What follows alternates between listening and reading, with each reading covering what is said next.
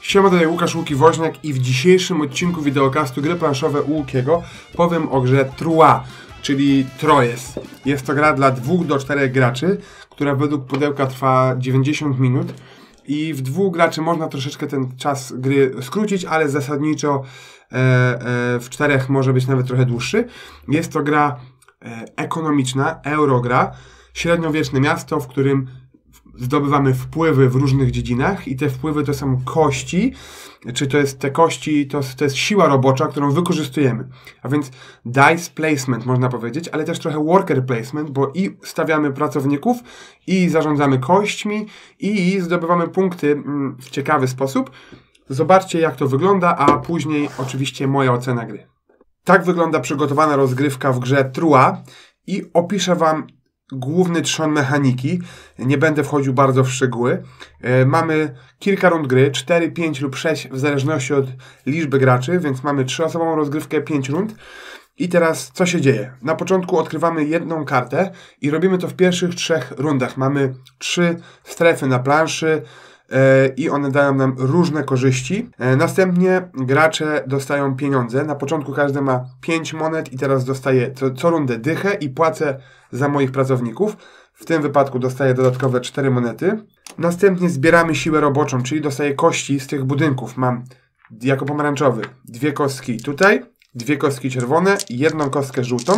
Rzucam te kości i kładę je na planszy w mojej strefie. Dokładnie to samo robią wszyscy inni gracze. I teraz przechodzimy do wydarzenia. Co rundę jest jakieś wydarzenie. Odkrywamy kartę i gracz, który jest graczem rozpoczynającym, rozpatruje wszystkie rzeczy po kolei, zbiera czarne kości, z którymi będziemy walczyć i różne rzeczy tutaj wykonuje. Na przykład teraz odkrywamy żółtą kartę dodatkową i e, szary jeden robotnik wchodzi do czerwonego budynku, a więc rzucamy kością i na polu 4 wypycha niebieskiego, wchodzi szary i tutaj jest podobne akurat wydarzenie do żółtego budynku, płaci 5, wyrzuciliśmy 5 i wypycha zielonego. Każdy budynek troszeczkę inaczej wypycha swoich pracowników.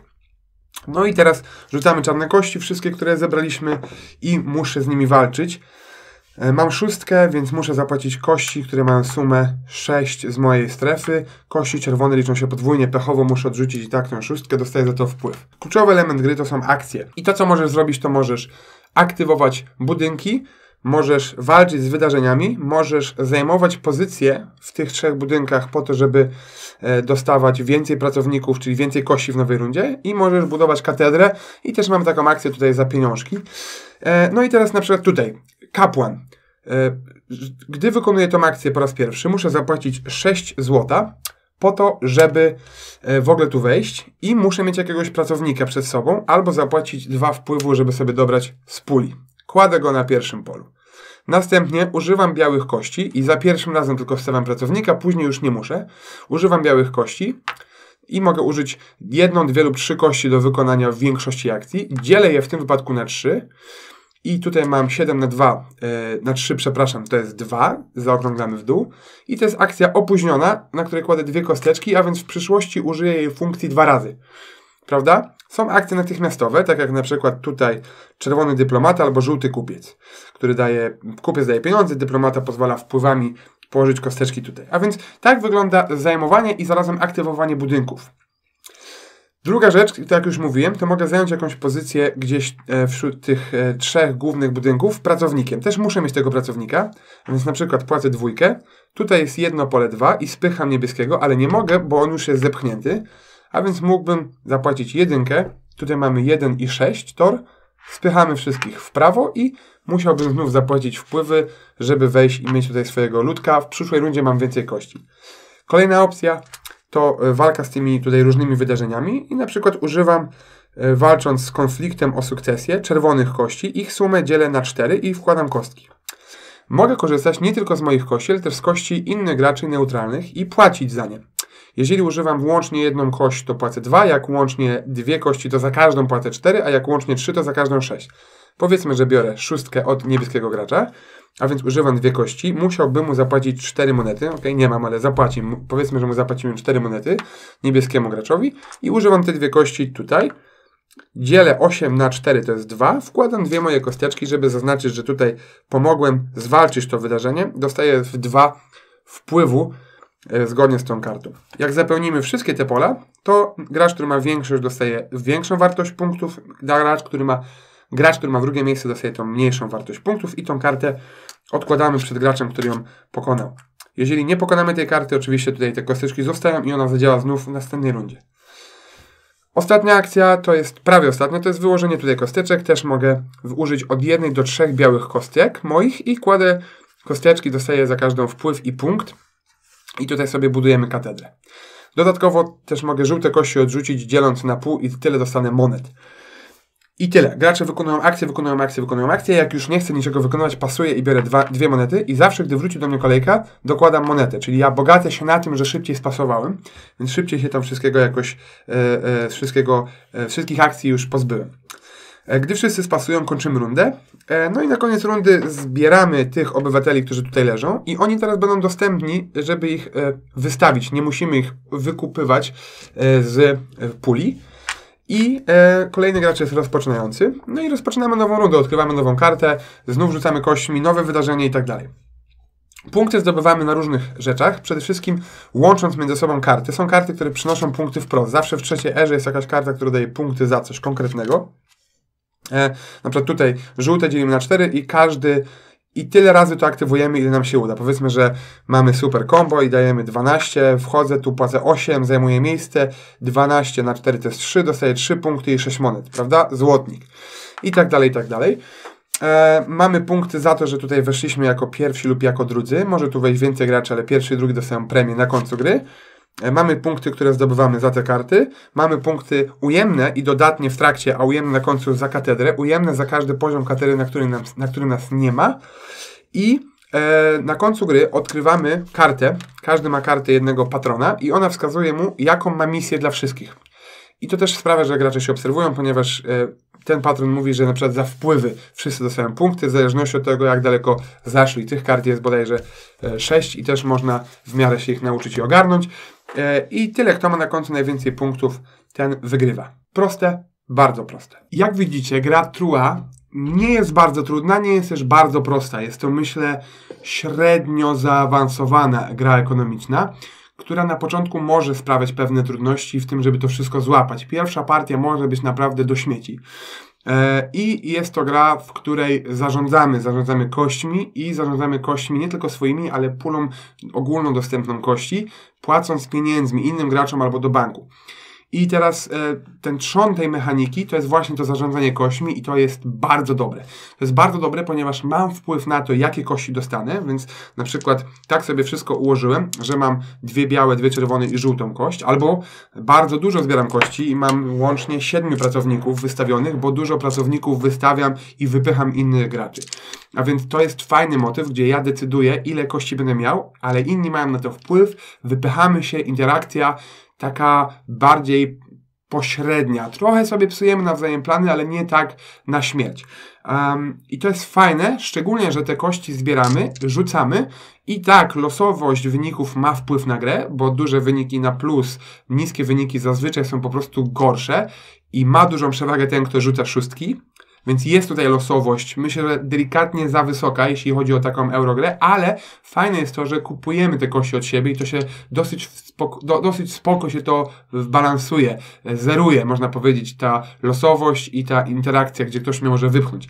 Ten mechanizm jest super i to, że siedzę i kombinuję, jak połączyć kości moje, ewentualnie dokupić, żeby pewne akcje odpalić na stole jak najefektywniej, to działa bardzo dobrze. Losowe wydarzenia, które się pojawiają, nie są takie bardzo niszczące rozgrywkę albo bardzo psujące komuś jakieś plany, więc to jest ok. E, na plus są też te karty patronów, gdzie musimy wyczuć, kto co zbiera i trochę próbować ich w tym prześcignąć.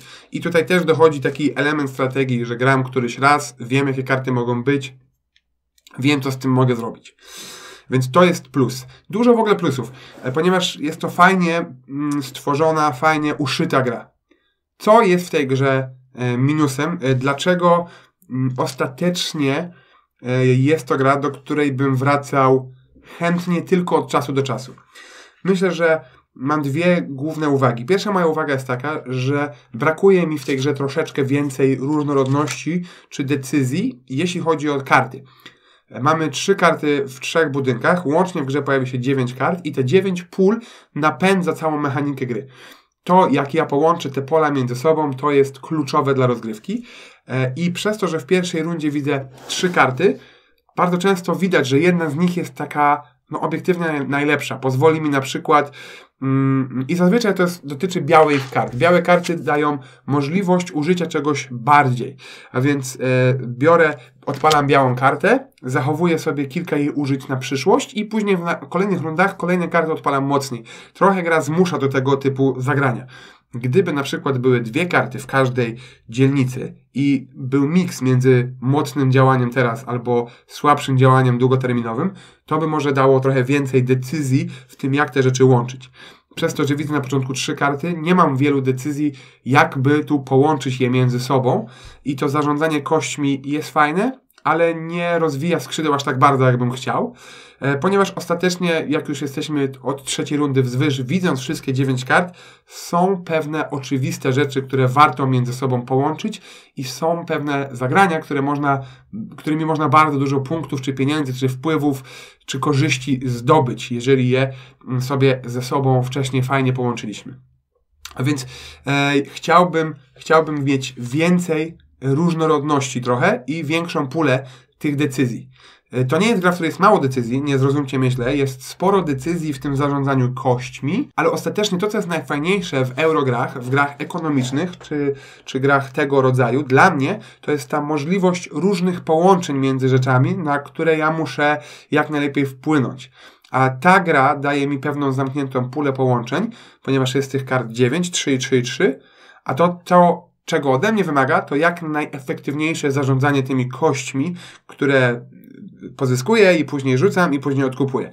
Fajny jest ten motyw, aczkolwiek mniej niż patrzenie na kostki i tam ich dodawanie sobie w głowie i mużdżenie, jak teraz zbiorę hajs, to będzie mnie stać, żeby coś kupić za ruch i przywalić. E, bardziej od tego mi się podoba mużdżenie, jak wezmę tą kartę, to ona mi wpłynie na tą kartę, albo tą kartę na tą kartę. E, a ta gra nie daje mi wielu opcji, tylko bardziej mówi, ta karta wpłynie na tą zrób to. Albo tego nie rób, whatever, ale mm, za, wielu, za wielu takich połączeń między tymi kartami nie widzę w trakcie rozgrywki, e, więc to mi się aż tak nie podoba. Fajne jest to, że możemy w tym różne rzeczy robić, że możemy wpływać na te wydarzenia, e, budować katedrę e, i zdobywać te punkty w, na różne sposoby, więc to nie jest tak, że jest strategia wygrywająca jakaś, jeżeli te karty się odkryją, ale dla mnie najfajniejsze jest to powiązanie między kartami i tego tu trochę brakuje. Grą, którą ostatnio graliśmy e, i jej recenzja mam nadzieję, że niedługo już się pojawi, jest gra Grand Austria Hotel, która też wykorzystuje kości, oczywiście w inny sposób, też wykorzystuje kości, ale wykorzystuje je w taki sposób, że one tak wnoszą losowość, tak trochę ograniczają nasze ruchy, czyli to samo co tu, super, ale zarazem cała rozgrywka to nie jest jak najlepsze zarządzanie kośćmi, tylko jak najlepsze powiązanie, którego klienta wezmę, gdzie go wprowadzę, jakiego pracownika kupię i tak dalej. A tutaj gra mi mówi, masz te trzy budynki, wybierz spośród tych trzech. E, Trua jest fajne, żeby usiąść i zagrać raz i potem na przykład wrócić do tego za kwartał czy za pół roku. Do takiego grania bardzo chętnie. E, ale jak zagram, usiądę i zagram, nie ciągnie mnie, żeby zagrać w to po raz kolejny. Może drugi raz, na pewno nie trzeci raz w niedługim okresie, niedługim odstępie czasu. Z tego względu, że po prostu mniej więcej widzę, co tu się będzie działo. Wielkiej różnorodności w tych kartach nie będzie i ta zabawa, włączenie kości jest fajna do pewnego momentu. Także Trua ode mnie dostaje bardzo mocne, bardzo mocne 3 na 5, e, co oznacza, że jest to naprawdę fajna gra e, i w odpowiednich dawkach to jest 4 na 5, czyli bardzo fajna gra. E, przynajmniej z mojej perspektywy. Tak prezentuje się Trua. Ja wiem, że ta gra wielu osobom się podoba. Mi też się podoba, ale wielu osobom podoba się bardziej. Ładnie wyglądająca, ciekawa gra, której ja bym na pewno bardzo często na stół nie wyciągał od czasu do czasu. Jeśli mam dużo Eurogier i szukam kolejnej, myślę, że warto na to spojrzeć. I na koniec miałem pozdrowić Pawła Wojewodzica. Paweł, pozdrawiam Ciebie serdecznie. Dalej graj w gry i... Yy, i życzę Ci samych wygranych. Odcinek był sponsorowany przez sklep Ułukiego, do tego na końcu pojawił się banner sklepu Ułukiego. Możecie tam sobie wejść i obejrzeć nasze nowości, promocje, mini cywilizacje w przedsprzedaży e, w wersji pudełkowej i różne inne rzeczy. E, na dzisiaj to tyle. Do zobaczenia.